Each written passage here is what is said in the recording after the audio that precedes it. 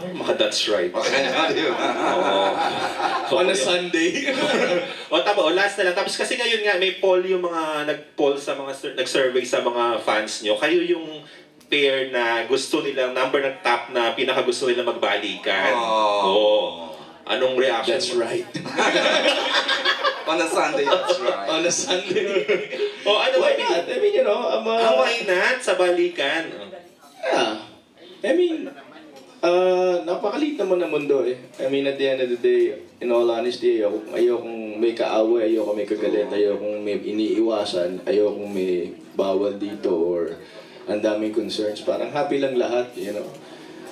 Trabaho lang, you know, if you have to do it, bigyan ng istasyon, syempre, ayoko lang talaga ng may issue. so, okay lang sa akin. Oo, open ka sa balikan. On a Sunday. Okay. Thank you, PJ. Thank you, thank you.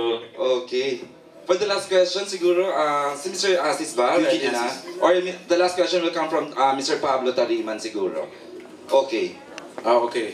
Ako na muna. Anyway, halos lahat ng tanong na itanong na ni Alan. Salamat, Alan.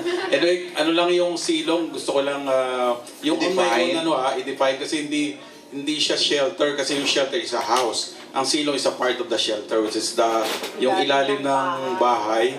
Whether it's covered or not, it's silong. It's Pag so may co- complicated now na. Ah, hindi, hindi. Silong talaga is under the house. Pag may cover, basement na siya. Yun.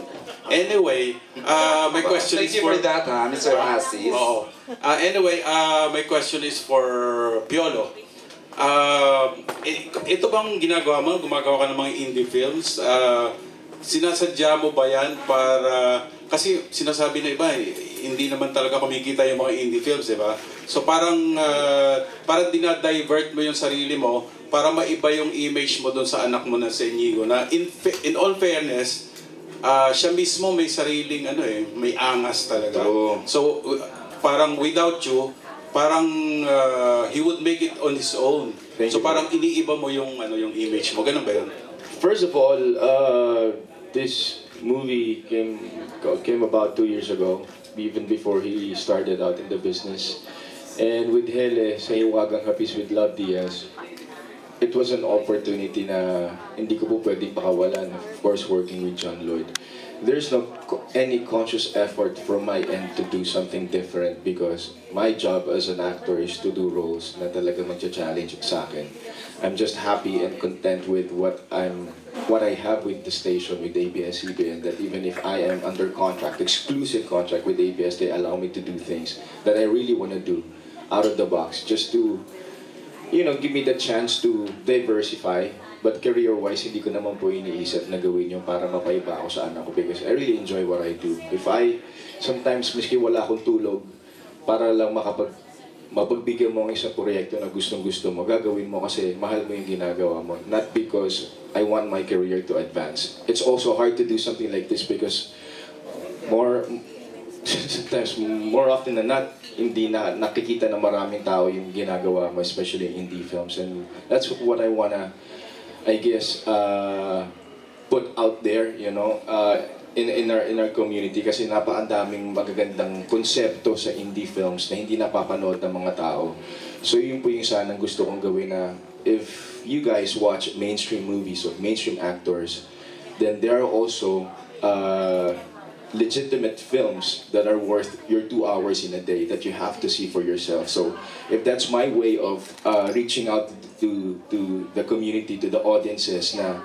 para mas maging interesting pa yung indie, I'll do everything I can kahit mahirap po sa schedule. But not because I want to advance my career. Gusto ko lang po talaga bigyan ng oportunidad like even the new directors, the new breed, parang si Antoinette Hadaone na marami rin ng mga konsepto. Kasi para magkaroon naman po ng interest yung mga tao, hindi lang puro rom-coms yung napapanood natin. So going back to your quest- question, to Eugene, uh, I just love what I do.